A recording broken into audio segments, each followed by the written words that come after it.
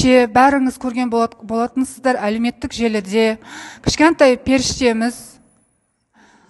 Айкөркем мелдеханды қаңтар оқиғасында атқан атқан кезде кішкентай бала, балапанның жарты ә, бас сүйегі жоқ болып кеткен.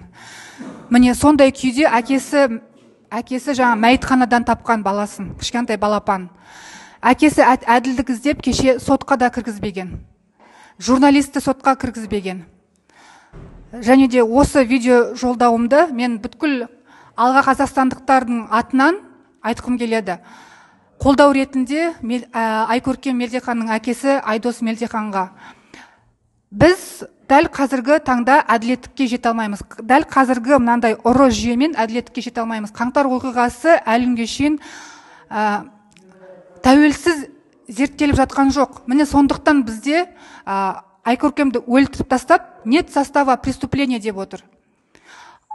Тек қана біз мына алға қазақстан партиясы билікке келген кезде ғана біз біздің бағдарламада саяси бағдарламада қаңтар оқиғасын тәуелсіз зерттеу орталығын құрамыз. Міне бүткіл әлемдегі ең мықты мықты деген жаңа мамандарды осы қаңтар оқиғасын зерттеуге әкеліп бәрін зерттетеміз және де нағыз қылмыскерлер только на алматы напало 20 тысяч бандитов. Правоохранительным органам и армии мною дан приказ открывать огонь на поражение без предупреждения. нағыз қылмыскер бұл тоқаев қазіргі таңдағы легитимсіз президент назарбаев шал міне осылардың берген бұйрығы яғни стрелять на поражение без предупреждения деп бұйрық берген осы шал назарбаев және тоқаев бірінші орында осылар жауап береді.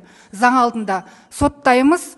Сондықтан бізге әділдік керек болса бізге өзгеріс керек болса алға қазақстан партиясын қолдаңыздар. Қаңтар оқиғасын зерттейтін әділ тек қана алға қазақстан партиясы.